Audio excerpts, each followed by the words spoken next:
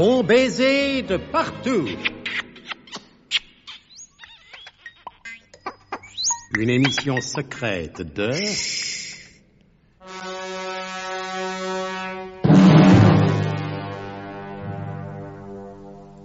Donc, si le glorieux destin du célèbre coureur de marathon fut de ne s'écrouler qu'après s'être tapé 40 bornes pour annoncer, mission accomplie, la victoire remportée par le général Milciade sur les Perses en l'an 490 avant Jésus-Christ, tel n'était pas celui de Célestine Truscott, qui, alors que...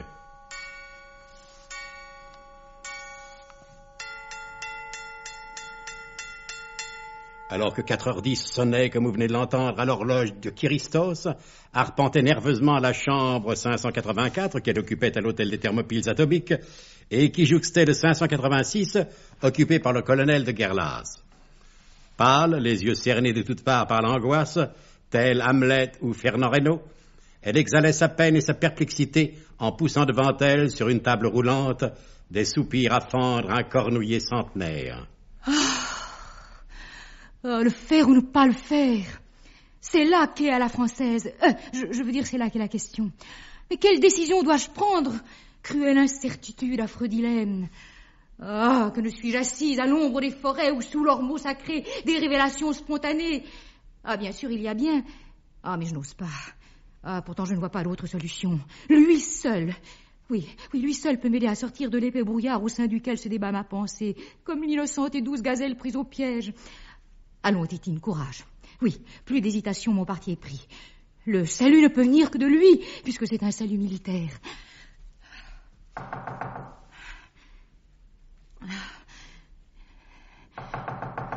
Quoi? Hein, que c'est?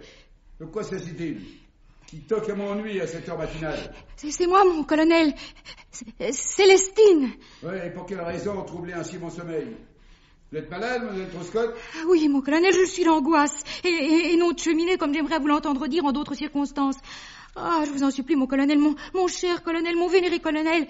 Il faut que je vous parle tout de suite. Oh, tout de suite, tout de suite. Mademoiselle Troscott, je dois me lever dans trois heures pour partir à la recherche de Nicolas Leroidec, dont l'absence commence tout de même à m'inquiéter fort. Et je voudrais bien pouvoir, tout de même, encore... Oh, mon colonel, je vous en conjure, à deux genoux, en, regrettant de ne pas en avoir trois, pour rendre plus persuasive mon ardente supplication, mon colonel, il y va de mon honneur et du vôtre également. Ouais, bon, ça va, c'est bon, allez, le temps de passer une robe de chambre, et j'arrive. Ah, oh, merci, mon colonel, merci. Eh ben, eh ben, ma petite Célestine, que se passe-t-il? Vous avez le visage aussi décomposé qu'un mandibandarme traditionnel. Qu'est-ce que ça signifie? Mon colonel, Autant que j'aille droit au but. Ce n'est pas la méthode habituelle employée dans les services secrets, mais eu égard à la conjoncture, allez-y quand même. Voilà, colonel. Le, professeur Ménerlache me fait une cour assidue. Et c'est pour ça que vous me réveillez en pleine nuit? Vous m'adressez un SOS désespéré? Alors, ça va, salut, ma belle.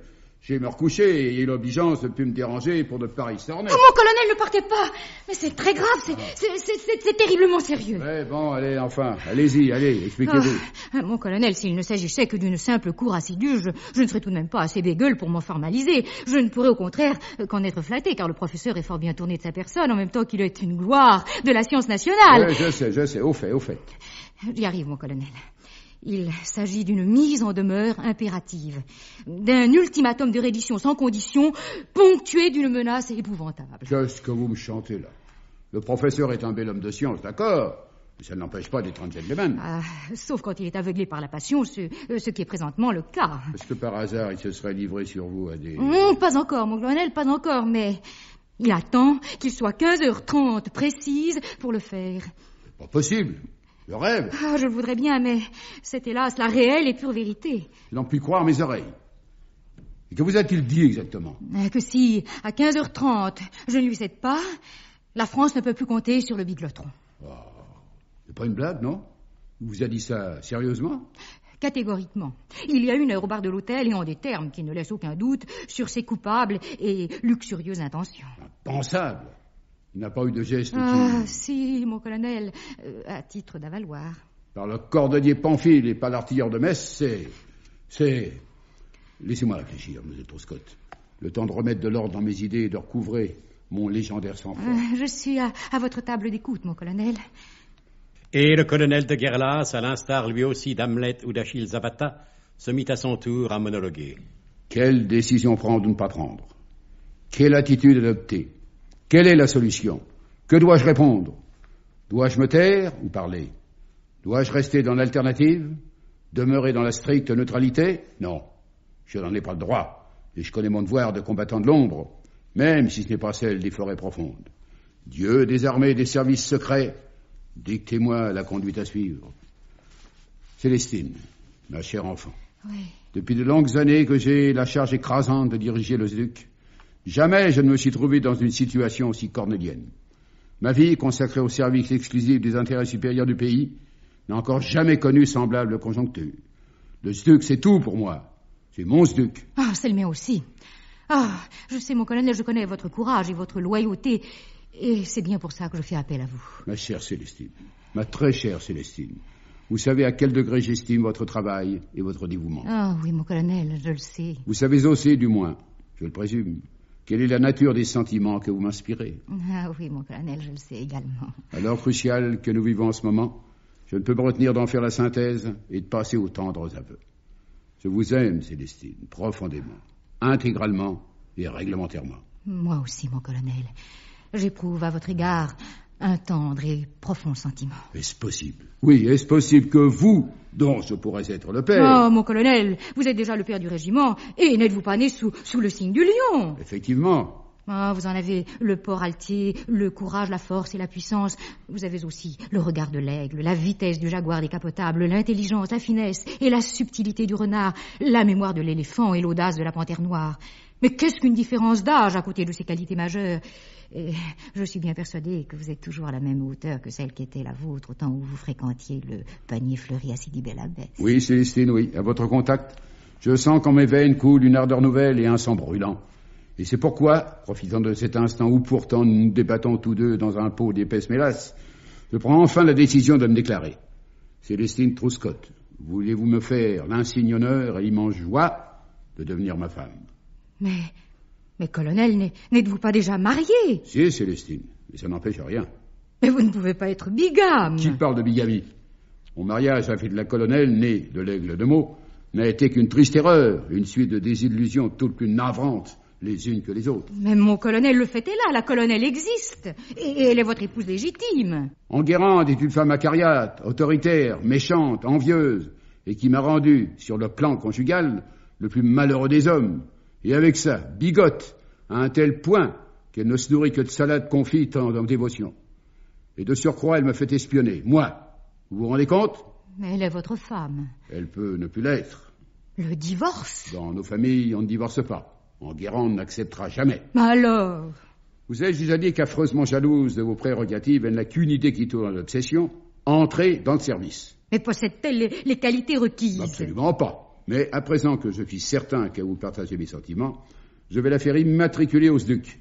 Dès mon retour à Paris, je lui organiserai une petite mission. Oh, je n'ose comprendre. Je vais l'envoyer au fin fond de l'Amazonie pour rechercher les renseignements sur les mines de manganèse et de bauxite à effet de compléter un dossier d'une mystérieuse affaire de trafic ferroviaire clandestin demeuré en suspens pour cause de manque de suppléments d'informations.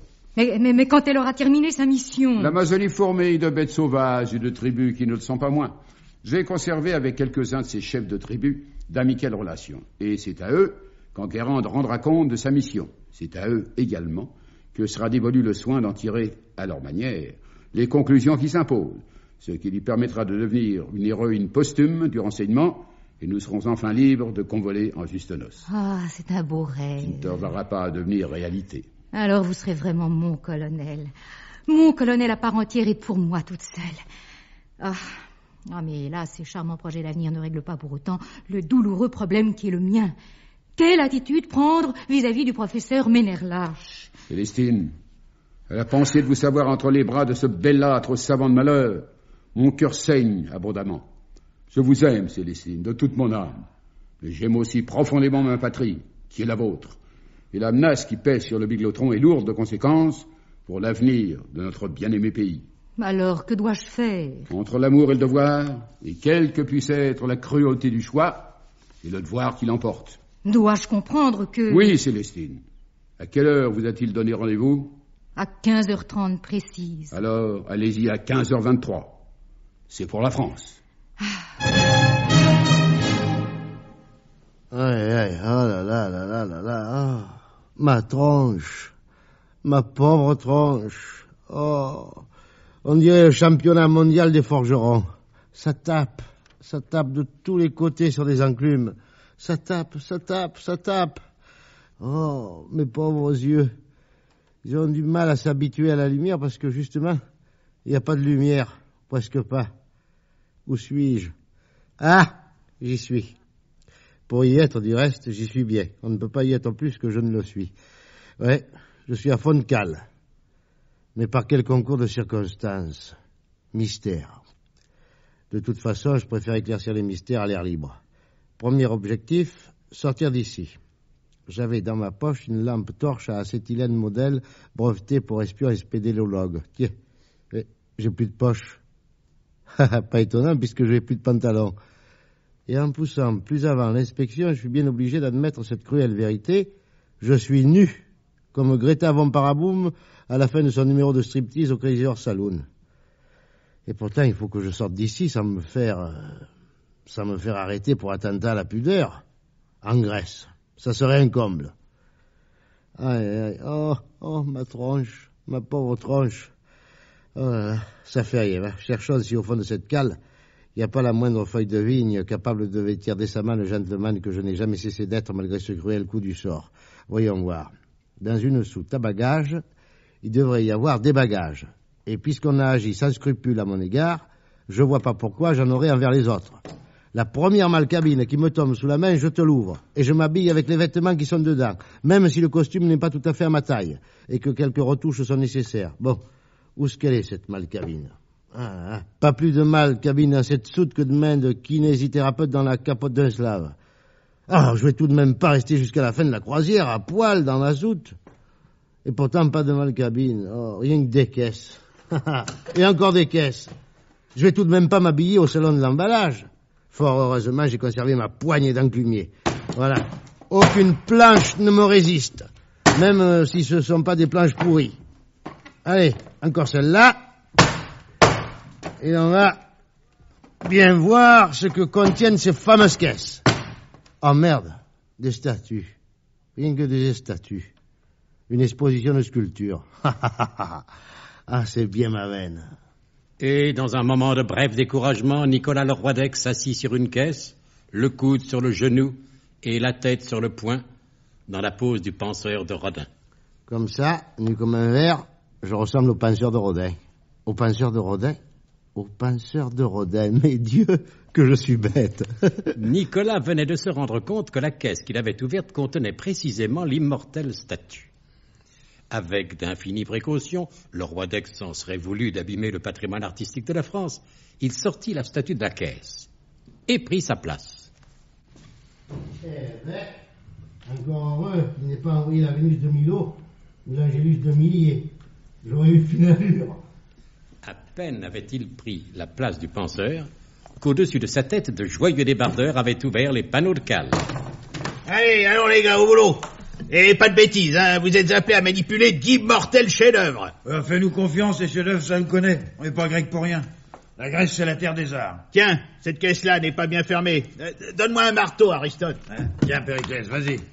Ah, C'est pas pour dire, mais les Français, ils sont pas forts question emballage. T'as raison, Périclès. Enfonce bien les clous, hein. Ouais. Les mecs Celui-là, vous me l'enfoncez dans le... Qu'est-ce que tu dis, Aristote? Hein Moi, j'ai pas causé, Périclès. Je disais, messieurs les débardeurs, de vous y prendre doucement en rapport à cette pointe qui est particulièrement mal placée et que je risque de se voir s'enfoncer dans... Aristote, je te jure, t'es un peu pénible à jeter tout le temps, hein Oh, puisque je te dis, Périclès, que j'ai rien dit. Vas-y, tape et t'occupe pas. Aïe Aïe Ah, c'est bien ce que je craignais Ah, c'est grec, tout de même Bon, cette caisse, on va la charger en premier. Qu'est-ce qu'il y a d'écrit dessus? C'est des inscriptions en lettres latines, ça veut rien dire. Il y a marqué fragile, haut et bas. Tu sais lire les, les lettres latines, toi? Moi? Ben, j'ai rien dit, moi. Il y a marqué haut et bas, je vous dis. Et vous êtes priés de respecter le mode d'emploi. Occupe et, et empoigne-moi ta caisse. Allez, zou Ah là là, ça y est, ça y est. Ils l'ont pris à l'envers. Ils sont terribles, ces Grecs. Et, la tête en bas, position favorite du yoga mais incommode pour le penseur de Rodin, Nicolas Leroy d'Aix se sentit emporté dans les airs par une grue puissante. Car sur les ports, que ce soit au Pirée, à Hambourg ou à Marseille, ce ne sont pas les grues qui manquent.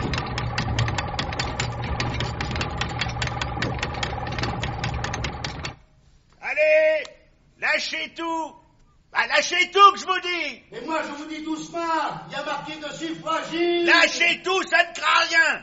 Ah, vous pensez c'est une babiole qui n'a même pas 2000 ans. On peut y aller, on en fera une autre. Allez, c'est du moderne. Lâchez tout que je vous dis Et ils lâchèrent tout. La caisse atterrit assez lourdement sur la plateforme d'un camion et le véhicule prit de rechef la direction d'Athènes. Là, les croisières organisées. Je me souviendrai des croisières organisées.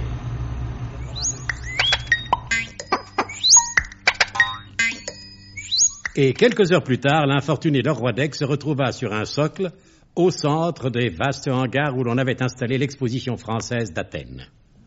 Je ne suis pas beaucoup plus avancé que sur le bateau. Je n'ai toujours pas le moindre vêtement et si je tente de quitter ce hall, je vais me faire alpaguer comme un vulgaire satyre. Je suis pigeonné. Comme dirait le colonel, je suis le satyre au pigeon. Mais si le véritable agent secret doit compter sur son courage et son esprit d'initiative, il faut bien qu'il compte aussi de temps en temps sur sa chance. Et justement, le colonel visitait l'exposition française. Ouais. Remarquable, cette exposition. Oui, vraiment remarquable.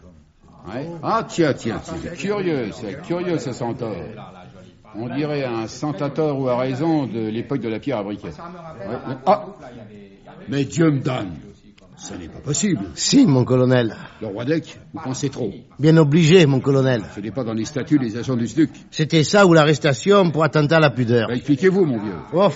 Ce serait beaucoup trop long, mon colonel, et je commence à avoir des crampes. Il y a longtemps que vous êtes là Depuis l'ouverture de l'exposition. Et vous comptez y rester longtemps encore Si vous me prêtez votre pantalon, je m'en vais tout de suite. Eh ben, culotté, vous. Eh, justement pas, mon colonel. Bon, bon, ça va, nous allons essayer d'arranger ça. Euh, Tifris, s'il vous plaît. Ah Voulez-vous oui, venir, voilà. par- voulez-vous venir par ici, adjudant À vos ordres, mon colonel, toujours. Allez, allez, déshabillez-vous. Mais, mais mon Ne colonel, vais... discutez pas, déshabillez-vous, et vous donnerez vos vêtements à ce malheureux le roi d'Ec.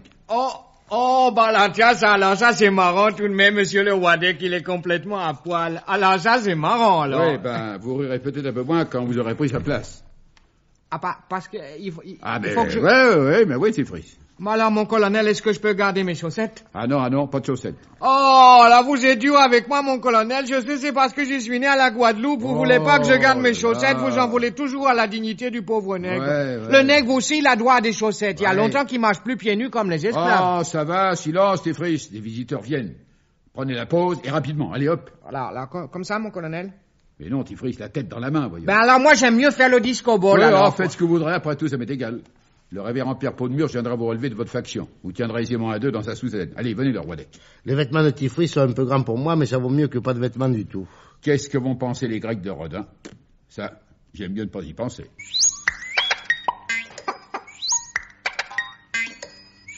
Ferme tag. Pourquoi faites-vous cette tête-là? Mais enfin, Sorbeck, il me semble que c'est une tête de circonstance. Ce qu'il y a de dommage avec vous, mon petit Wilhelm, c'est que vous faites cette tête-là même quand tout va bien. Ah, Sor Sorbeck, vous avouez donc que tout va mal. Oh, mais toujours votre abominable pessimisme.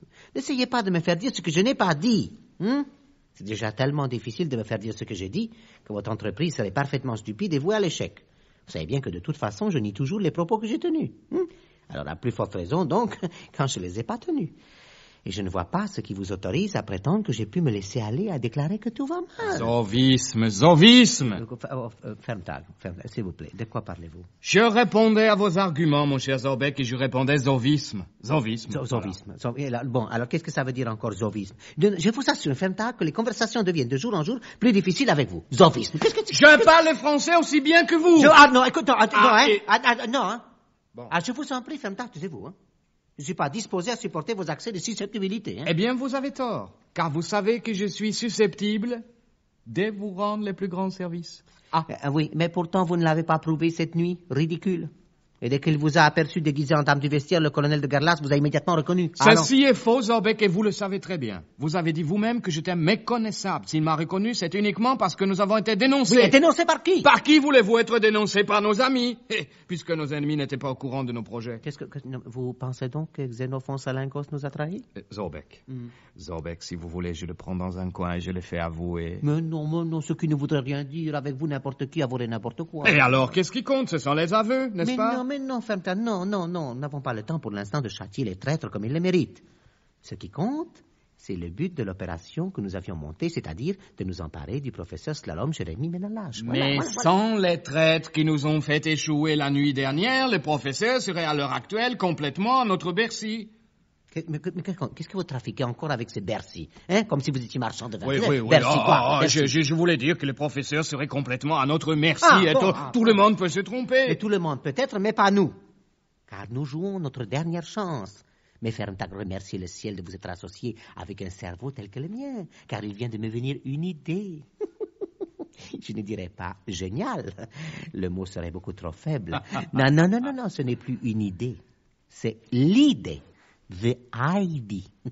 Comme on dit du côté de l'intelligence service. Zorbeck, Zorbeck, Zorbeck, toujours votre insupportable vanité. Oh,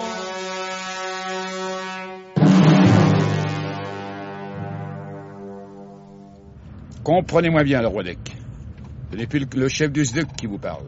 Ce n'est plus le colonel, c'est l'homme. Mais ce n'est pas l'enclumier non plus qui vous écoute. C'est l'homme, mon colonel. Donnez-moi la main, Nicolas. Les deux, si vous voulez, mon colonel. Et j'ajouterai même que si ma sœur était là... Merci, Nicolas, merci. Voyez-vous, je crois que si pareille aventure m'était arrivée sous d'autres cieux, je n'aurais pas résisté au désespoir profond qui m'étreint. Qui m'étreint des équipages, bien entendu. Je m'en attendais pas moins de vous, mon colonel. Euh, mais ici, sous l'antique ciel attique, comme disent les chirurgiens, on se rend compte que malgré les médisances, les Grecs sont peut-être les seuls gens du monde à prendre les choses du bon côté. Eh, que voulez-vous, mon colonel? C'est le plaisir des dieux. Ou le miracle grec, appelez-le comme vous voudrez. Ah Oui, c'est tout de même dur à avaler. Enfin, Nicolas, vous connaissez le professeur Méderlas. Est-ce que vous lui confieriez Mémène? Je vous pose la question entre hommes. Euh, et moi, je vous réponds entre parenthèses que je serais bien ennuyé de répondre à votre question. Eh, Mais nous arrivons au Pirée. Hein? Oui, oui, ah, bah là, il y en a pour une minute maintenant. Merci, mon colonel, de m'avoir accompagné jusque-là. Au revoir, mon colonel, et comptez sur moi pour la mission tu peux là. Au revoir, Nicolas, au revoir, mon vieux. Donnez-nous quand même de temps en temps de vos nouvelles. Et surveillez la comtesse Vanda. C'est avec elle que vous avez le plus de chances de réussir. Oui, oui, je veux bien, puisque vous me le dites, mais surtout, mon colonel, des fois que vous voyez Mémène, Ouais. ne lui dites pas que c'est avec la comtesse que j'ai le plus de chance. Oh. Elle pourrait le prendre mal, si, si, elle est jalouse, mon colonel. Mais jalouse, jalouse, jalouse comme... Oh, excusez-moi, mon colonel, pardon.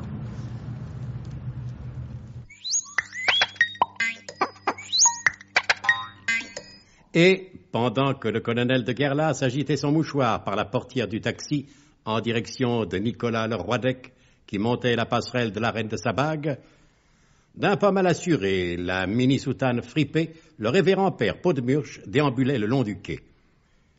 Le colonel donna l'ordre à l'automédon grec d'aller à la rencontre du révérend père. Montez, mon père. Merci, mon fils. Mais respect, mon colonel.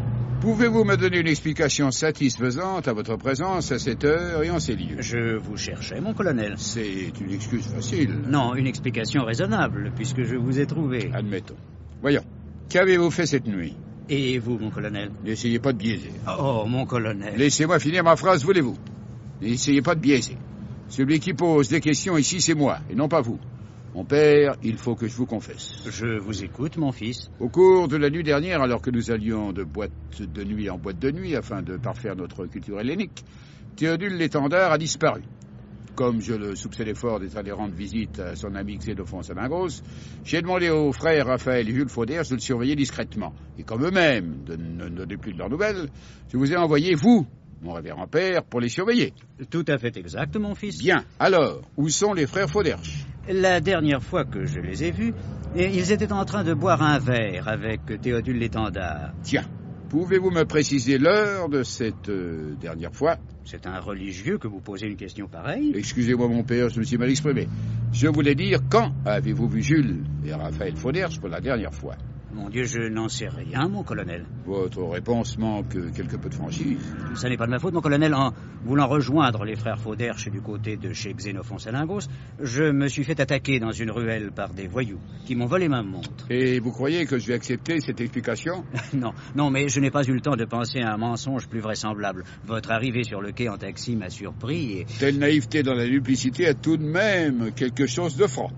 Mais je vous avais envoyé accomplir une mission bien précise. J'attends le compte-rendu de cette mission. Mon colonel, vous aurez dans dix minutes sur papier pelure, en douze exemplaires, en code et à l'encre sympathique, le compte-rendu détaillé de tout ce que j'ai fait cette nuit. Je n'en attendais pas moins de vous, mon révérend père. Vous avez toujours été un loyal serviteur du SUC. En attendant et avant même de rédiger votre rapport, sans doute après avoir consulté les frères Fauderche, vous allez vous rendre immédiatement à l'exposition française. Au centre du hall, vous remarquerez le penseur de Rodin. Vous savez, mon fils, que je ne suis pas un expert en œuvres d'art, et je ne sais trop si dans cette exposition je saurais retrouver sans risque d'erreur l'œuvre que vous m'indiquez. Un penseur de Rodin comme ça, vous ne pouvez pas vous y tromper. C'est l'adjudant Tifris qui remplace M. Rodin, retenu Ah. probablement par d'autres préoccupations. Mhm. Et que dois-je dire à l'adjudant Marie-Rose Tifris Vous n'avez rien à lui dire. Il attend votre arrivée. Dès qu'il vous verra, il se glissera sous votre soutane. Sous ma soutane. Oui, oui. Et ainsi protégé des regards indiscrets, vous le conduirez à sa chambre d'hôtel. Attention, ne vous faites pas remarquer. Marchez tous les deux du même pas, sinon vous déchireriez la soutane.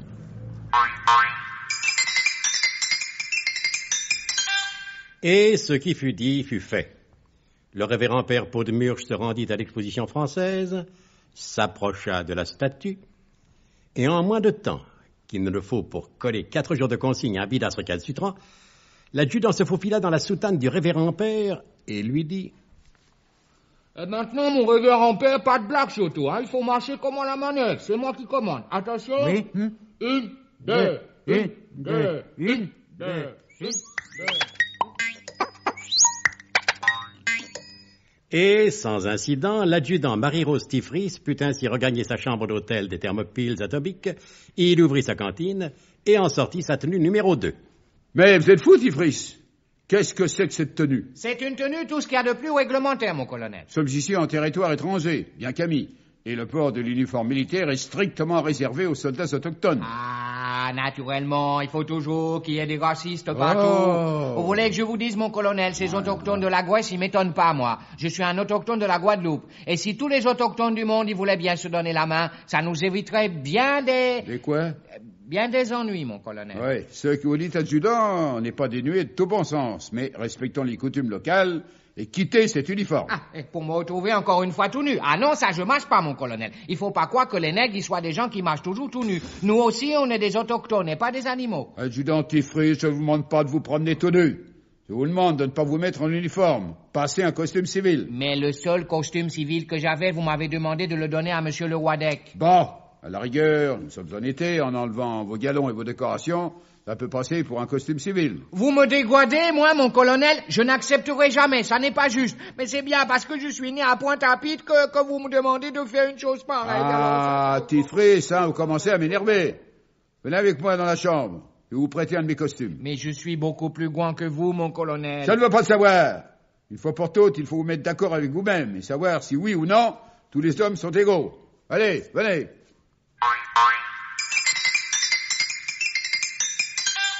Et, pendant ce temps, dans un autre quartier d'Athènes, Zorbec le Gras et Wilhelm Fermtag conciliabulaient.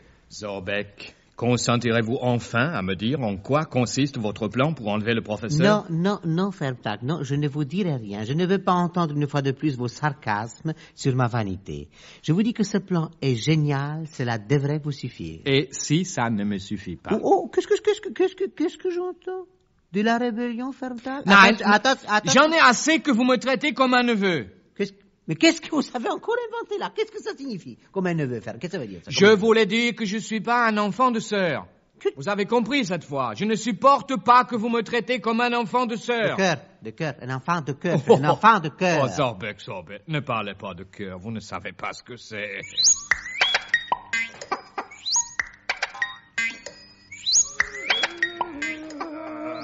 Ah ben, à vous à la vôtre. Eh ben, il est dans un bel état, ce qui me semble. Euh, non mais on va, on va, on va vous expliquer, mon colonel. Vous, vous pensez bien qu'on on a une explication toute prête, mon colonel. Ça, je n'en doute pas. Et pour aller plus vite, je vous en prie, que l'un de vous deux prenne la parole seul. Ah, vous, vous- Vous vous avez raison, mon colonel, colonel. ça Ça sera- ça plus sera pratique. plus. C'est pratique. ça, c'est ça. Bah, et vous, Raphaël, hein, par exemple Eh ben voilà, qu'on avait à vous dire, mon colonel. Bah, J'ai dit Raphaël tout seul. Ah ouais, vous avez dit Raphaël tout seul, et puis vous avez montré du doigt Jules. Là, c'est... Ah, ça c'est vrai, mon colonel. C'est moi que vous avez désigné. Alors, euh, alors je croyais que c'était à moi de parler. Oui, ça va, silence. Vous savez bien que Pardon. je n'ai jamais su vous distinguer l'un de l'autre. Ah, Alors arrangez-vous entre vous, tirez à pile ou face, mais je vous en prie qu'il n'y en ait qu'un seul qui parle. ah oui, mais reste à savoir si l'autre lui fera confiance. T'as t'as raison Jules, il fallait, il fallait soulever cette question. Ouais, Mais qu'est-ce que ça signifie? Vous n'avez plus confiance l'un dans l'autre? Oh, Ah, si, mon colonel. colonel. Jules. Raphaël. Bon, oui, bon, écoutez, ça va, hein, ça suffit. Commencez à me casser les orteils singulièrement. Jules ou Raphaël, peu importe. Vous là, allez parler, expliquez-moi tout d'abord pourquoi, tout en ayant confiance l'un dans l'autre, vous continuez à vous méfier. Mais vous nous avez mal compris, mon colonel. On se méfie pas l'un de l'autre. Mais si l'un de nous parle au nom de tous les deux, euh, l'autre pourra plus démentir par la suite. Alors c'est c'est c'est ça qui nous ennuie. Alors. Eh bien, en attendant le démenti, venons-en à la première version des faits. Que s'est-il passé cette nuit? Quels sont les gens que Théodule l'étendard a rencontrés? Thé- Théodule Théodule l'étendard a rencontré personne. Ah, vraiment? Ah ben, tu vois Jules, ce, ce avait bien dit, le colonel est déçu. Alors vous, silence Pardon. Pour l'instant, il y en a qu'un qui parle, et quand j'aurai besoin du démenti, je ferai signe. Ainsi donc, Théodule l'étendard n'a rencontré personne. Absolument personne. Ah, ça, c'est, c'est la vérité pure, mon colonel. D'ailleurs, Théodule l'étendard est ici. Il se doute de quelque chose. Ouais, naturellement, puisque selon toute vraisemblance, vous n'avez rien eu de plus pressé que de l'avertir de la mission dont je vous avais chargé. Euh, là, là, là n'est pas la question, mon colonel. Théodule l'étendard est très malheureux. Il est, il est peiné de vos soupçons. Eh bien, qui vienne me voir? J'étais là, mon colonel. Ah ouais, ben je devrais y être habitué depuis le temps. Mais je ne me ferai jamais à votre manie d'entrer toujours 30 secondes avant qu'on vous le demande. Mais c'est pour mieux vous servir, mon colonel. Voilà, ça va vous autres sortez. Ce que j'ai à dire à l'étendard est strictement confidentiel. Bien, Euh, bien, bien, mon colonel. bien, mon colonel. Allez, hop.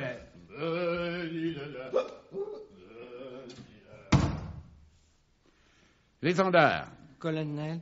depuis votre arrivée à Athènes, votre conduite est des plus bizarres. Hmm. Voyons, qu'y a-t-il exactement entre vous et Xénophon Salagos Mais, mais, mais je m'en suis déjà expliqué avec vous, mon colonel. Non, l'étendard. Vous n'avez prétendu n'avoir connu Xénophon Salingos que par oui dire à Paris, du temps qu'il s'appelait Isidore Salingue. Or, ici à Athènes, j'ai acquis la conviction que vous avez eu de nombreuses conversations avec Salingue devenu Salingos. Mais c'était justement pour faire connaissance, mon colonel. L'étendard, vous avez de la chance que j'ai en ce moment l'esprit préoccupé par... Par quoi? Ouais, euh, enfin par une chose qui ne vous regarde pas. Votre conduite est plus que suspecte et je me demande sérieusement si je vais continuer à vous considérer comme mon bras droit. Oh, mon colonel, non, non, ça, ce sont des calomnies. Il ne faut pas croire tout ce que les gens racontent. Il y a des individus dont la seule joie est de briser les ménages les plus unis. Que voulez-vous dire, l'étendard Mais on lit ça tous les jours dans les journaux, des, des gens qui poussent à bout la jalousie d'un homme en lui racontant, par exemple, que sa petite amie est en ce moment dans les bras d'un autre. L'étendard, taisez-vous Oui, c'est pardon. Un mot de plus, je ne sais pas ce que je ferai. Oui. D'ailleurs, oui, d'ailleurs, j'aime mieux, ne- j'aime mieux ne pas le savoir. C'est bon. C'est bon, je ne dis plus rien, mon colonel, et je m'en remets à votre équité. Nous réglerons votre cas plus tard après, après un autre, beaucoup plus douloureux à régler. En attendant, et ceci vous montrera ma mansuétude, si je ne vous considère plus comme mon bras droit, vous restez tout de même, et provisoirement, mon bras gauche.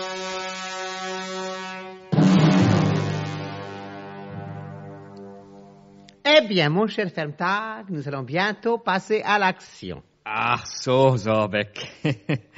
Qui faut-il tuer? Oh, mais qui vous parle de ça pour le moment? Il ne s'agit pas de tuer à tort et à travers. Il s'agit d'exécuter. D'exécuter qui, Mais, alors? oh, mais laissez-moi finir, voulez-vous, Fermtag?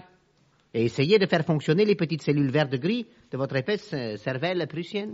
Je vous écoute, Sorbeck. Quand je dis exécuter, je parle d'exécuter à la lettre le plan que j'ai minutieusement préparé pour nous emparer de la précieuse personne du professeur. Ah, so Voilà. Maintenant, je comprends. Voilà. Vous vous êtes plaint de ce que je refusais de vous livrer les grandes lignes de ce plan. Je ne l'ai pas fait parce qu'avec vous, il faut toujours vous expliquer très longuement avant que vous compreniez. Et encore, hein, on n'est pas toujours sûr que vous comprenez très bien, ou de ce que vous comprenez, plus exactement. Dites tout de suite que je suis un imbécile, Zorbeck. Je n'osais pas, mais puisque vous m'y invitez... Je vous ai déjà dit, Zorbeck, que je n'étais pas un imbécile, puisque j'avais eu l'intelligence de m'associer avec vous. Alors, cette fois, ça y est, votre petite vanité satisfaite. Expliquez-moi de quoi il s'agit. Les dernières informations que j'ai pu recueillir m'indiquent que le professeur se trouve actuellement dans une chambre de l'hôtel Thermopyle Atomique, en compagnie de Mlle Truscott, la dévouée secrétaire du colonel de Gerlas. Ben, Le professeur avait sans doute du courrier à dicter. Voyez, euh, Ferntag, je ne vous le reproche pas, mais enfin, comment est-il possible de manquer à ce point de psychologie? Et comment avez-vous pu réussir dans le renseignement jusqu'ici? Je me demande, je me- Ah. non mais je me pose la question. Un homme tel que le professeur, seul dans une chambre d'hôtel en compagnie d'une secrétaire, n'est certainement pas obligé de dicter le courrier. Et qu'est-ce qu'il Mais ferait? tous les renseignements que nous avons recueillis sur le psychisme, les mœurs et le comportement du professeur nous le présentent comme un être incapable de résister à l'attrait d'un jupon qui passe. Ou pour être plus précis, et pour euh, parler sans finesse à votre âme prussienne, disons que le professeur ne résiste pas à l'envie de dépouiller les femmes de leurs jupons. Ah, so, so. J'y commence à comprendre. Et comme le disait si justement Herr Docteur Professeur Sigmund Freud. Voilà, c'est un obsédé. Il n'y a pas besoin d'avoir lu Freud pour s'en rendre compte. Et nous allons nous servir de cette obsession pour arriver à nos fins. Voilà. Euh, pardon, pardon. Je vous en prie, je vous en prie. Euh, Vous me permettez une question? Mais je vous en prie, je vous écoute. Vous voyez, je suis très gentil, je vous écoute. Quand vous dites nous allons nous en servir, Oui. qu'entendez-vous au juste par nous?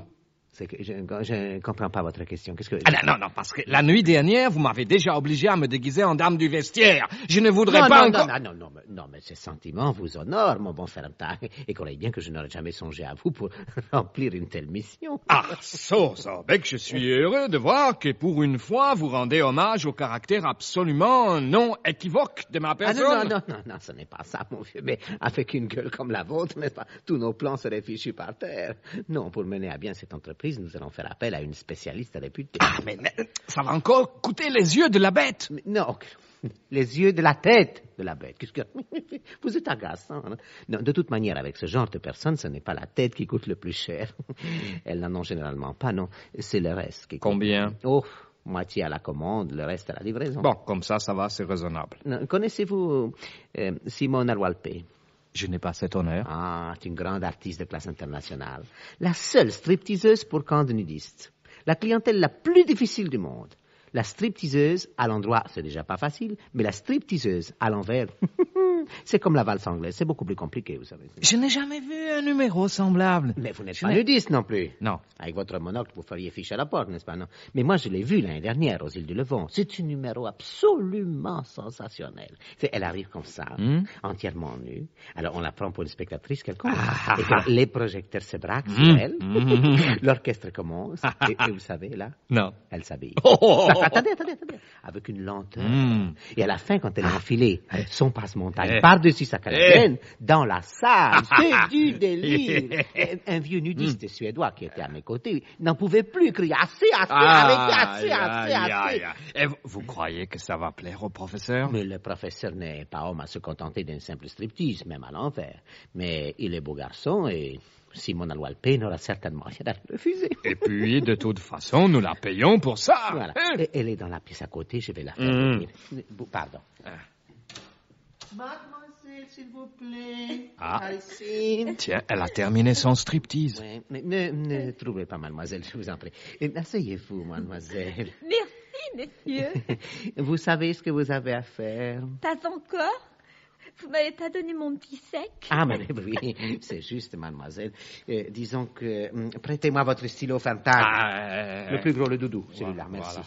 Là, bon. Je le mets au porteur. Où vous voudrez, monsieur, ça m'est égal. Bon, voilà, je, je le barre à moitié, comme ça, vous toucherez le reste à la livraison. D'accord.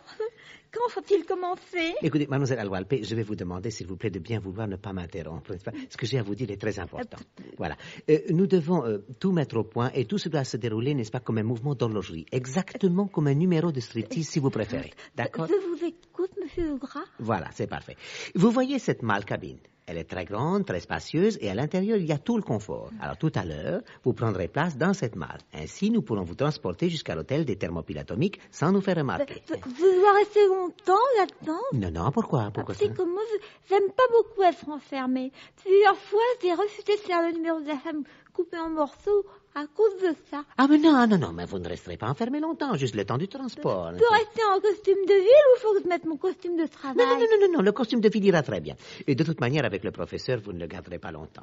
Votre plan est habile, Zorbeck. Mademoiselle, effectivement, passera inaperçue, mais qui portera la malle? Mais nous, Fermtag, nous. Mais vous n'y pensez pas, Zorbeck. L'hôtel des thermopiles atomiques est infesté par tous les hommes du SDUC et nous sommes très connus au SDUC. Vous, je ne sais pas, mais moi, oui. Je me flatte d'être l'agent secret le plus connu d'Europe. Vous avez là la preuve, Zorbeck, que la vanité peut vous jouer des vilains tours. Au lieu de parler de ma vanité, vous feriez mieux de faire faire un peu de gymnastique à votre cortex cérébral. Il est bien évident que nous n'allons pas nous présenter à visage découvert à l'hôtel des thermopiles atomiques. Je ne comprends pas qu'un agent aussi expérimenté que vous puisse encore poser de telles questions. Alors, alors, alors, si je comprends bien, nous allons encore nous Mais, déguiser. mais oui, Ferntag. Et cette fois-ci, je vous jure que personne ne nous reconnaîtra. Oh, vous vous ne dites pas de stupidité. Sinon, m'avait véritablement reconnu, il y a longtemps que je serais fusillé. Allons. Nous nous déguiserons donc et nous porterons nous-mêmes cette malle dans une chambre que j'ai louée juste à côté de celle occupée par le professeur. Quant à vous, mademoiselle, mademoiselle Alwalpé, pour les intimes, je vous dirai là-bas exactement ce que vous devez faire. Oh, si c'est un professeur, c'est pas bien difficile. Je connais, moi, les professeurs. Pendant longtemps, j'ai donné des cours de maintien au Collège de France. Oui, oui, mais enfin, j'ai l'impression tout de même qu'avec le professeur, vous risquez d'être surprise. Enfin, là n'est pas la question. L'organisation de la première partie de cette mission vous incombe entièrement. Et je n'ai pas de conseils à vous donner, car personnellement, je n'ai jamais tenté de séduire un professeur, ni même un autre homme d'ailleurs. Mais euh, la deuxième partie de la mission, la plus importante, c'est pour moi. Bon, vous voyez euh, ce flacon, mademoiselle. Naturellement, je vois ça. Bon, alors, vous vous débrouillez comme vous voulez, racontez n'importe quelle histoire, mais arrangez-vous pour que le professeur demande à boire. Mais une boisson alcoolisée de préférence. Vous retiendrez son attention comme il vous plaira et vous verserez le contenu de ce flacon, écoutez bien, dans son verre. C'est pas une blague que vous me faites, moi. Comment ça, mon petit? Une blague, je comprends pas. parce qu'un jour, comme ça, dans un tonus en médecine, il y a un gars qui a versé un truc dans le verre de son copain, et le copain, il a failli divorcer. Euh, euh, mademoiselle je ne doute pas que le récit de votre vie privée fourmille d'anecdotes toutes plus intéressantes les unes que les autres, mais présentement, il s'agit de toute autre chose, n'est-ce pas? C'est amusante. Euh, Avez-vous bien compris ce que je vous demande et êtes-vous capable de le faire? Euh, Vous pouvez compter sur moi, monsieur. Vraiment, parfait. Alors, je vous demanderai maintenant de ne pas quitter cette pièce. Puisque vous souffrez de claustrophobie, je n'aurai pas la cruauté de vous enfermer dès maintenant dans cette malle. Non, je compte donc sur votre loyauté, c'est-à-dire sur le désir que vous avez de toucher un second chèque. Alors, vous restez ici pendant que je vais mettre au point avec mon distingué camarade les derniers détails de cette expédition. Voilà. Vous venez faire tag. Nous n'en avons pas pour longtemps. Euh, tenez, mademoiselle Alwalpe, euh, pour passer le temps, voici quelques illustrés.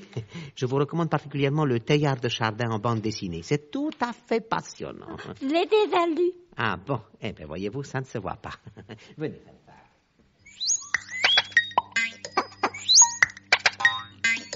Et Fermtag va. Simone Alwalpe n'avait pas besoin d'être au courant du reste du plan. Tout à l'heure, devant elle, je n'ai pas voulu vous répondre quand vous m'avez parlé de déguisement. Venez voir mon bon Ferntag, venez par ici. Alors, que dites-vous de ceci? J'ai dit, j'ai dit que ce sont des costumes bien chauds pour la saison. Mais vous ne, vous ne remarquez rien. On dirait des bleus de chauffe. Samson. J'ai de la chance que le colonel ne soit pas là, moi. Oui, ce sont des bleus de chauffe, mais regardez à l'intérieur la marque du tailleur. Mais Sorbeck, ce sont des idiogrammes chinois Bien sûr, Femtag, puisque ces costumes bleus sont l'uniforme de 700 millions de Chinois. Alors, vous pensez de de plus hein Qu'est-ce qu'il va aller voir Vous avez l'intention de nous déguiser en chinois Pourquoi Vous ne reconnaissez pas le gouvernement de Pékin ou quoi Ça n'est pas ça, Zorbeck. Je n'ai évidemment plus beaucoup de cheveux, mais le peu qui m'en reste sont blonds. Or, qu'ils soient communistes ou nationalistes, les Chinois ont une tendance commune à être bruns. Et, et- et des Chinois chauves, vous n'avez jamais vu des Chinois chauves, hein? Allez vous raser, Ferntag. allez. Varum, varum, je peux mettre une casquette? Ah, une ca- très bien, très bien, très juste, très bien. Vous mettrez une casquette et moi aussi d'ailleurs. Et vous pensez qu'à cette époque de l'année, un hôtelier athénien ne sera pas étonné de voir débarquer des touristes chinois? Ferme-tag, ferme-tag, petite tête de linotte prussienne. Combien de fois faudra-t-il vous répéter que Zorbeck pense à tout? Vous n'avez pas lu dans les journaux que la troupe officielle euh, du cirque populaire de Pékin arrive cet après-midi hmm Alors nous deux, avec notre grosse malle que personne n'aura le droit d'ouvrir, car nous sommes des illusionnistes, ô combien illusionnistes, nous entrerons sans encombre à l'hôtel des thermopiles atomiques. Le colonel de Gerlas peut veiller en personne dans le hall du palace, jamais il ne nous soupçonnera. Ah. Et c'est ainsi que quelques heures plus tard, le portier de l'hôtel des Thermopyles atomiques vit descendre d'un taxi deux artistes de la Chine populaire qui transportaient avec eux leur grande malle à accessoires. Dans le hall de l'hôtel, le colonel de Guerlas, qui regardait de plus en plus mélancoliquement son bracelet-montre, depuis 15h23, mademoiselle Truscott était toujours avec le professeur, le colonel, en regardant les deux artistes, eut cette pensée originale. Tiens, des Chinois. Mais, comme chez le chef du SDUC, l'amour du métier l'emportait toujours sur l'amour tout court, il lia habilement conversation avec les nouveaux venus. Alors, monsieur, ainsi donc, euh, vous êtes Chinois?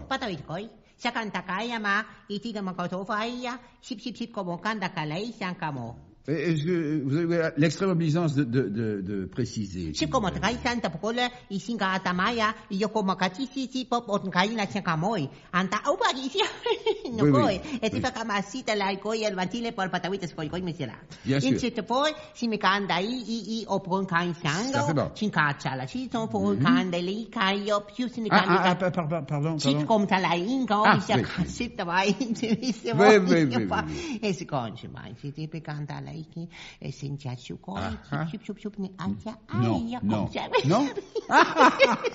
Kain Shanghai, en to kola, en ka peken kali ki ya chup chikatai. Bon, eh bien, eh bien, c'est très bien. Ah, Très, très, très bien. Oui, oh, ben, oh, je vois parfaitement ce que c'est.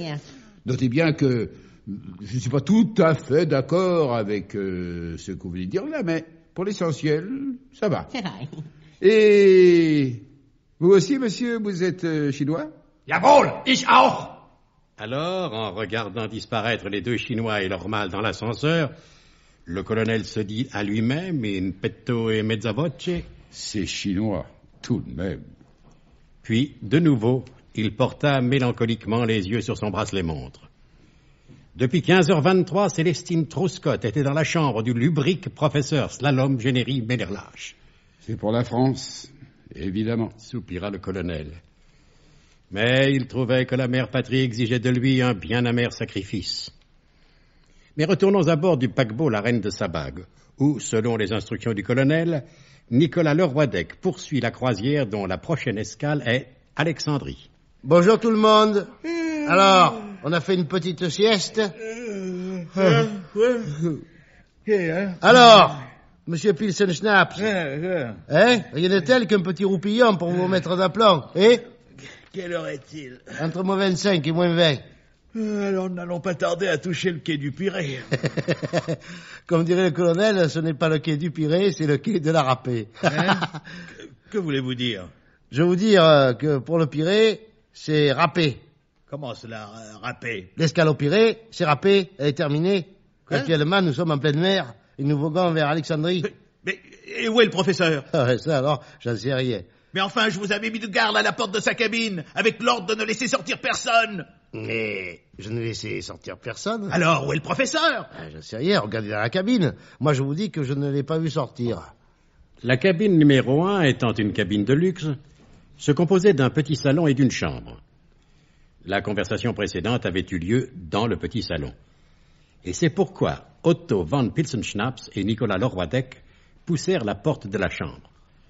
Mais là, sur la couchette, il n'y avait que la belle et capiteuse Vanda et sa jeune secrétaire particulière, qui toutes deux dormaient d'un profond sommeil, les effets du narcotique ayant eu plus d'effet sur leur féminine constitution.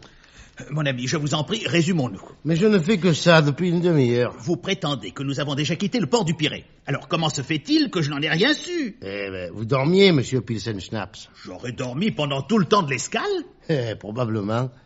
Nous aurions été drogués probablement. Il faut que je vous parle. Mais qu'est-ce que vous faites depuis dix minutes? Non, mais je veux dire, il faut que je vous parle sérieusement. Ah, parce que jusqu'ici, ce n'était que des gaudrioles. Écoutez, notre temps est précieux, ne m'interrompez pas. Comme vous voudrez, monsieur Pilsen-Schnaps. Nous avons été drogués, et le professeur en a profité pour s'échapper. Quand la comtesse va se réveiller à son tour, elle va être furieuse, et je risque de perdre ma situation. Quand on nous soit dit, que voulez-vous que ça me fiche? Oh, vous n'avez pas de cœur, monsieur. Vous avez engagé un garde du corps et pas un garde du cœur. Il faut que vous m'aidiez. Combien? Que voulez-vous dire? Je vous demande combien que vous me donnez pour vous aider. Parce que j'aime mieux vous dire que si entre-temps je trouve une offre supérieure, je vous laisse tomber. Dites-vous bien une chose, monsieur, c'est que je suis vénal, particulièrement vénal. Car pour la réussite de la mission Tupetla, et bien qu'il en coûtât à sa foncière honnêteté, Nicolas Leroy-Dec devait accréditer chez ses ennemis la légende de sa vénalité. Alors, je vous ai demandé combien. Ah, ce que vous voudrez. Alors comme ça, ça marche. Quand la comtesse se réveillera, vous lui direz que le professeur est sur le pont Pormdad. Et si la comtesse va sur le pont Vous lui direz que le professeur est au bar. Et si elle va au bar Et Vous lui direz qu'il est au salon. Et si elle va au salon Vous lui direz qu'il est sur le pont Promenade. Mais ça peut durer longtemps comme ça. Mais le plus longtemps possible, je l'espère. Car dès que la comtesse Vanda saura que le professeur nous a échappé, j'aime mieux ne pas penser à ce qui va m'arriver. Alors vous m'avez bien compris, hein Nous sommes d'accord. Vous pouvez compter sur moi, monsieur von Pilsen-Schnaps.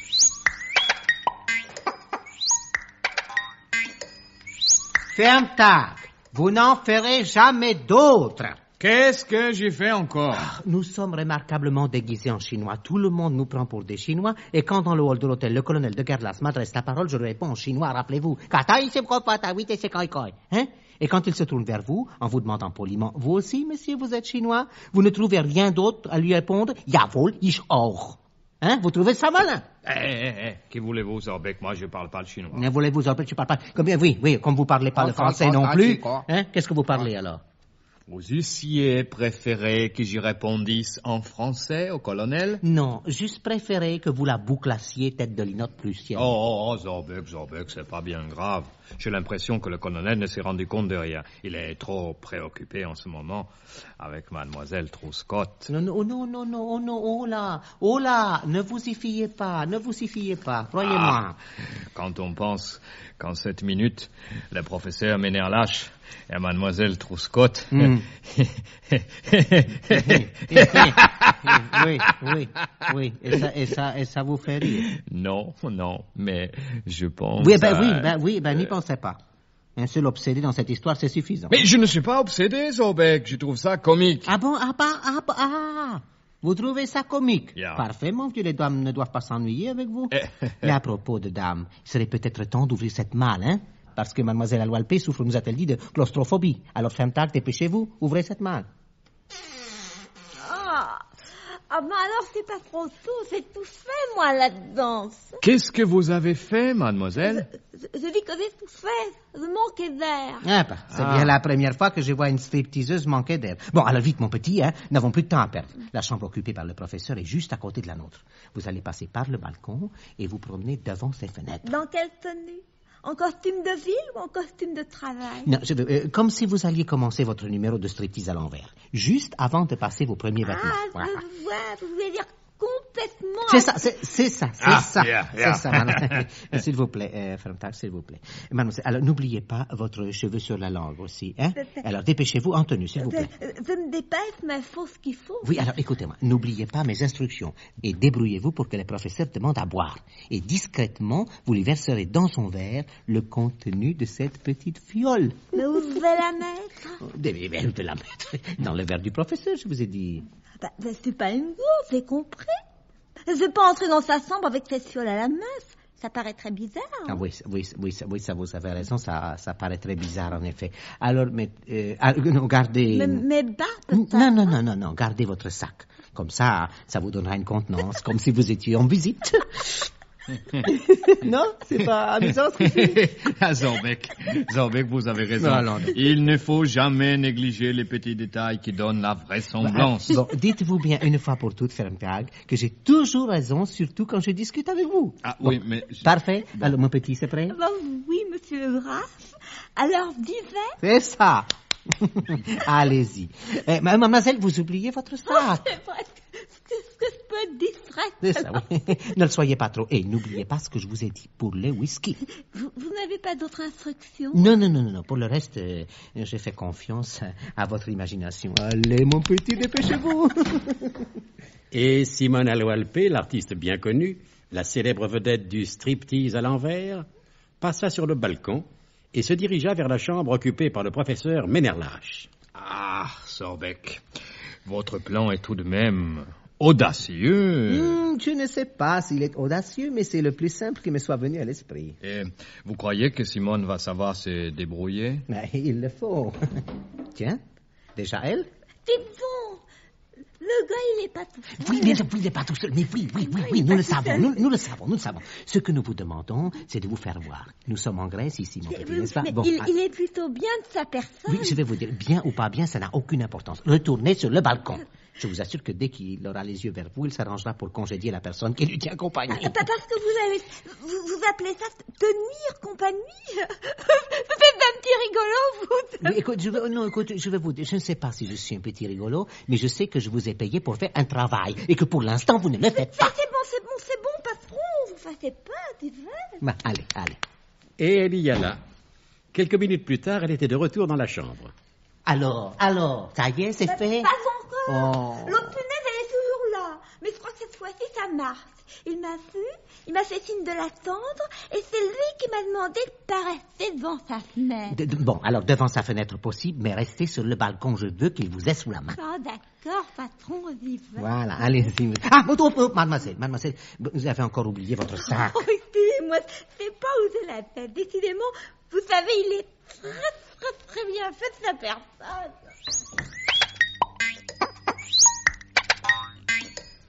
Quelques étages plus bas, dans le hall de l'hôtel des Thermopyles atomiques, le colonel de Guerlas faisait signe au révérend père Paudemurge de venir s'asseoir à côté de lui.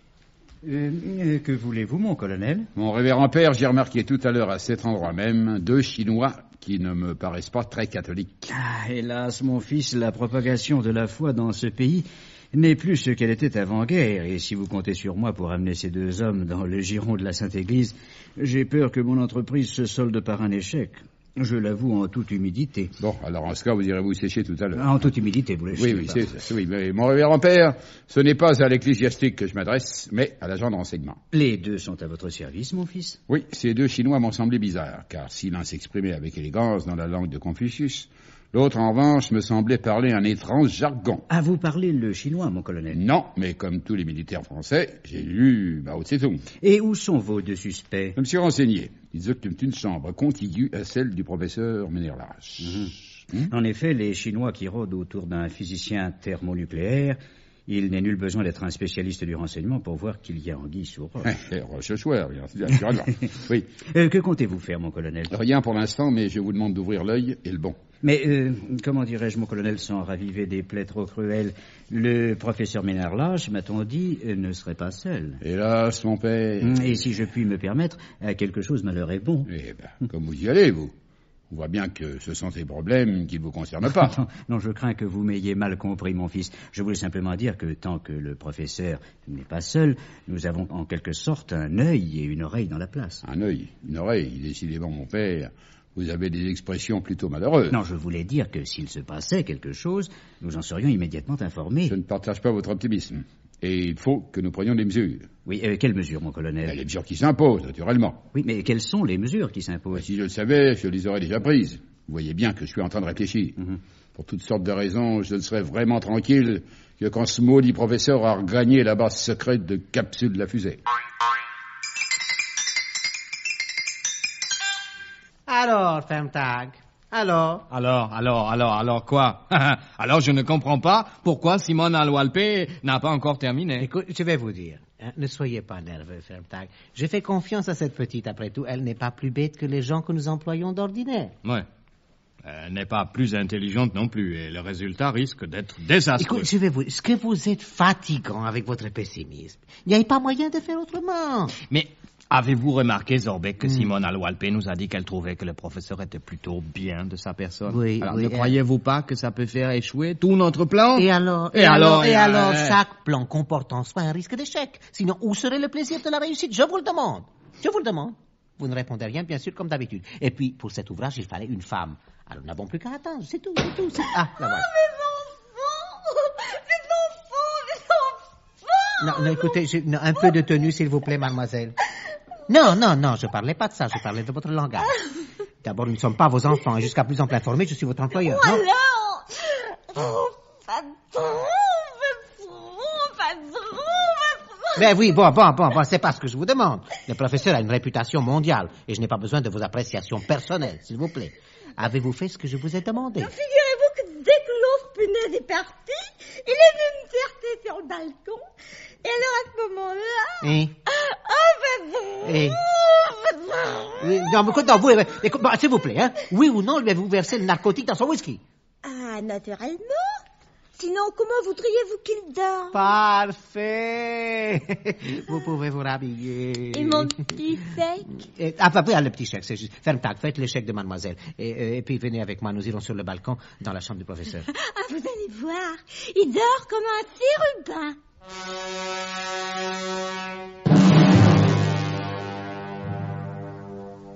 Willem Fermtag rédigea un chèque à l'intention de Simone Alloalpe, la vedette bien connue, puis rejoignit Zorbeck dans la chambre du professeur Slalom Jérémy Ménerlach. Alors, notre grande chère artiste est partie. Hmm. Dès que je lui ai donné son chèque, elle s'est sauvée. Bon, dites donc, j'espère qu'elle s'est habillée avant. Hein?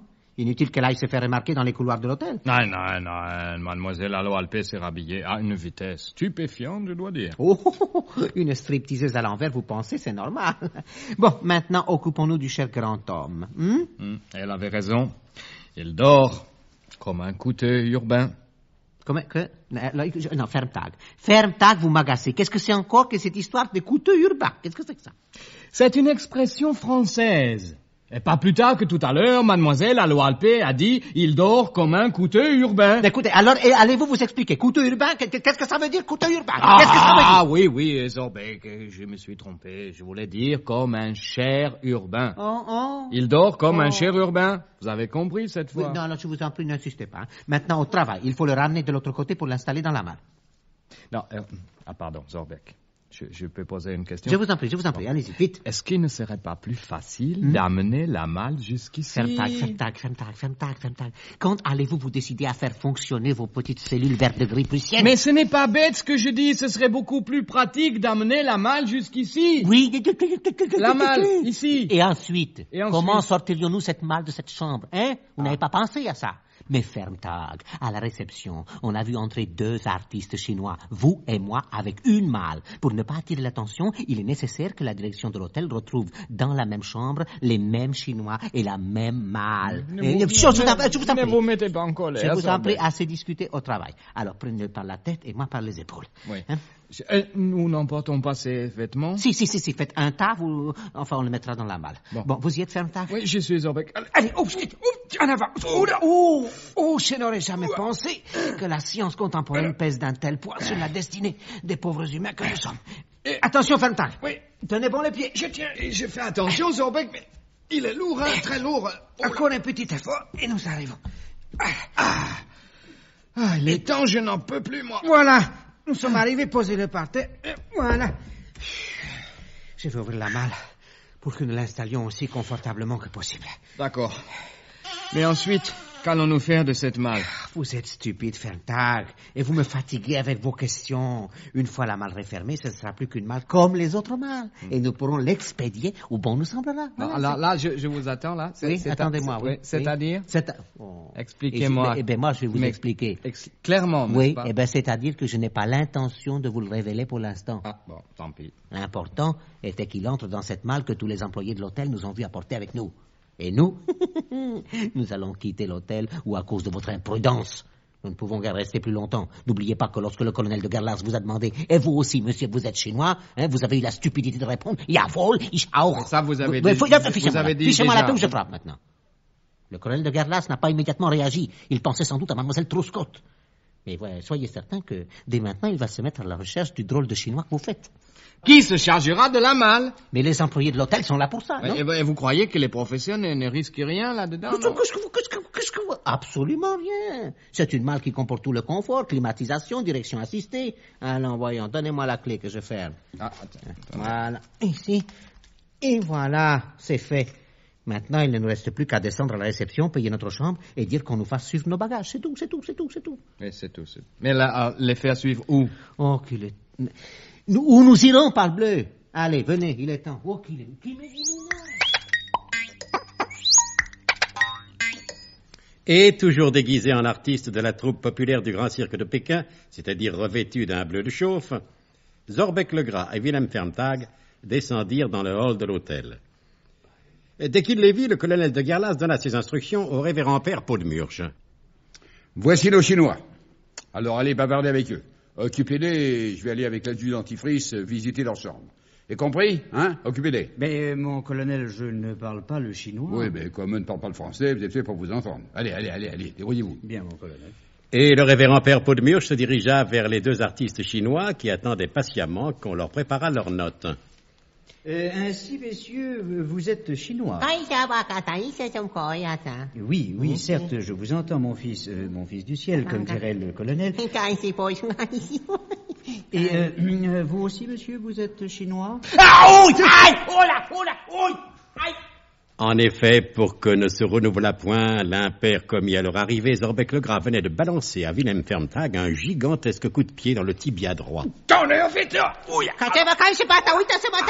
Ah, faux, faux, j'ai compris. Quand- Taisez-vous, taisez-vous, ferme vous répondez en chinois, je vous en prie. Mais je ne sais pas, Zorbeck. je Vous allez, mais vous allez voir, c'est très simple. So te. Oui, oui. Et ça fait longtemps que vous êtes à Athènes? Oh, Sachant les deux Chinois occupés par le révérend père Podmurge, le colonel de Gerlas appelle l'adjudant Tifris et à eux deux, ils montèrent visiter leur chambre. Alors ça c'est drôle alors mon colonel. Alors les Chinois ils avaient leur chambre juste à côté de celle du professeur. Quel drôle de gens tout de même ces Chinois Ne alors. soyez pas raciste, Tifris, je vous en prie. Oh, je suis pas raciste mon colonel. Mais vous direz ce que vous voudrez, les Chinois c'est pas des gens comme nous alors. Enfin comme vous et moi. Non, je vais pas dire que ce sont des animaux, mais c'est peut-être pas des êtres humains. Ah non, ça alors moi je suis pas raciste mon colonel. Chez nous à la Guadeloupe, personne n'est raciste. On aime bien tout le monde, sauf les Chinois bien entendu. Et les Blancs qu'on n'apprécie pas tellement parce qu'ils sont prétentieux. Mais alors ça je suis pas raciste alors. Ah non, oh non alors. Et on voit bien que c'est parce que je suis de la Guadeloupe que vous dites ça mon colonel. Voilà, Tifris, je vous en prie, taisez-vous, vous me fatiguez. Bien mon colonel, je me tais. Doyer. Bon, alors entrons. Et ils entrèrent. Tiens, une malle. Ah ça vous avez raison mon colonel. On dirait bien une malle. Elle est pas mal hein cette malle. Oui, oui, on y soit qui mal y pense, oui. Mais c'en est une, euh, soyez-en assurés. Ouvrez-moi cette malle, Tifris. Oui, alors donnez-moi la clé mon colonel. Ah, Si j'avais la clé, je vous demanderais pas d'ouvrir cette malle. Je le ferai moi-même. Alors vous voulez dire il faut que je fasse la serrure? Ben, naturellement. Faites-moi confiance, mon colonel. Aucune serrure m'a jamais résisté. Je prends ma petite épingle de cravate et hop, vous allez voir.